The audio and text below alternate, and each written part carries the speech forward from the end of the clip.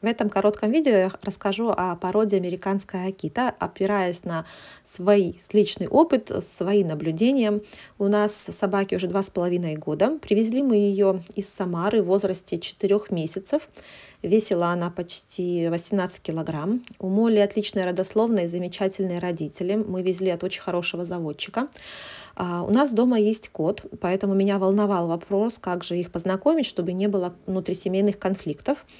А собаку не нужно ограничивать, то есть от кота и как-то их раз, разводить по разным углам. Нет, наоборот, нужно их дать возможность их понюхаться, познакомиться. Может быть, первое знакомство следует да, провести на поводке, а чтобы собака ненарочно там, не придавила не животное, все-таки весовые категории разные. Но их общий контакт налаживается в первые полутора лет. У нас, конечно, кот Задира, он старый, ему 18 лет, он дерется, обижает больше, он молит, чем она его. Но она к нему относится довольно-таки бережно. А в семье с детьми мы когда привезли собаку, у нас дочке было 6 лет, сыну 10.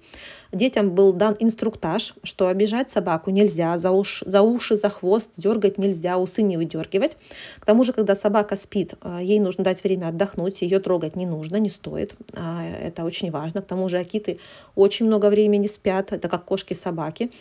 Днем она спит на своем лежачке, с детьми она отлично ладит, но вы должны понимать, что это не малтипу, не баллонка, не пудель, который будет прыгать вокруг ваших детей, играть в мячик, носить мячик и веселиться. Нет, это собака такая спокойная, уравновешенная.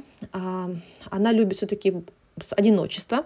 Да, она отлично, ком, отличный компаньон, она отлично играет, когда хочет с детьми, то есть должно совпадать желание детей и собаки поиграть.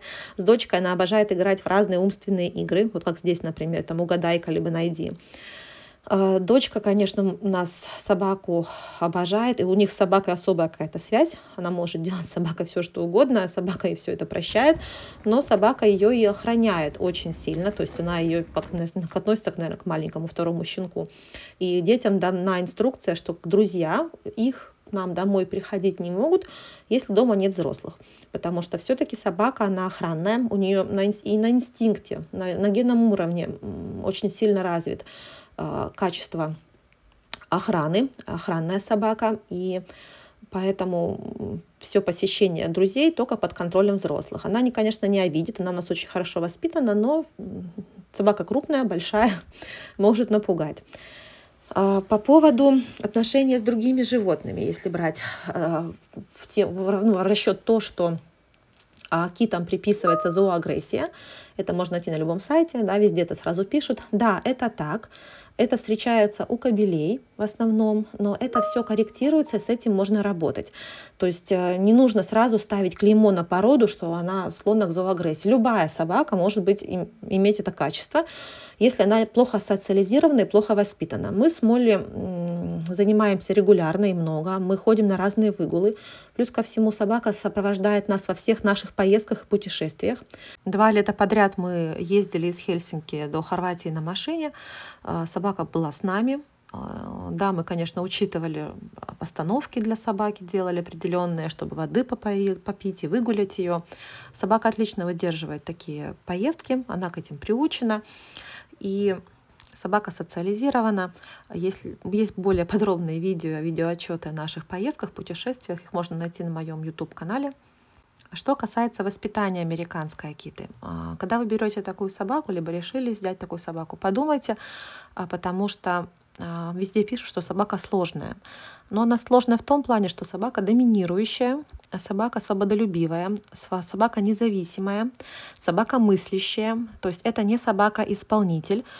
Не нужно думать, что вы выучите с ней все команды, и все, она будет как служебная, как овчарка. Нет, а, полного подчинения и исполнения от этой собаки ждать не надо. А она будет, только вы ослабляете свою хватку, да, свой контроль, а собака начинает сама думать и берет бразды управления в свои руки, в свои лапы. Поэтому тут нужно взвесить, как бы, сможете ли вы эту данную породу да, воспитать так э, и постоянно быть под контролем и воспитанием, чтобы из нее выросла отличная собака-компаньон. Я не говорю, что эта порода какая-то плохая не всем под силу. Нет, просто нужно понять и рассчитать свои силы и свои ожидания.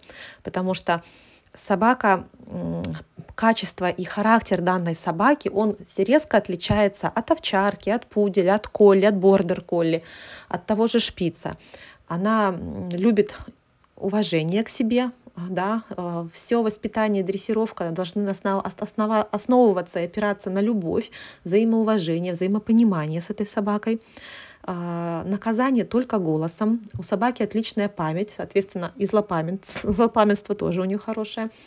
А собака не агрессивная к человеку и к детям, нет. Но у нее отличные охранные качества, которые даны ей врожденно. Она будет защищать свою территорию, свое стадо на ура, муха не пролетит. А, собака не лающая, то есть а, беспокоить ваших соседей она не будет по пустякам просто гавкать. Гавкает только, если, допустим, какая-то угроза вашей территории, предупреждающий рык и гавканье.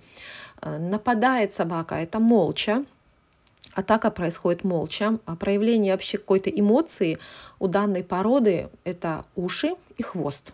То есть не будет ни скалов, не будет ни рычания, ничего такого она издавать не будет, только по ушам и по хвосту можно понять, как она вообще реагирует, какое у нее настроение. А, в семье она любит безумно всех членов семьи, она не выделяет любимчиков. Да, там она папа у нас любит больше, но слушается, подчиняется всем членам семьи, даже маленькой дочке, и любит одинаково всех. В уходе по шерсти. Да, собака пушистая, у нее отличный подшерсток. У нас моли такая немного даже длинноватая шерсть.